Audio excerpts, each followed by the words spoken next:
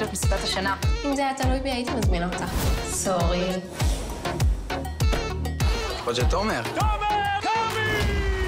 כמעט מפורסמת, מראה מראה שיכיר אותי אני פה כדי לנצח. אל תשכחו איפה ראיתם את זה קודם.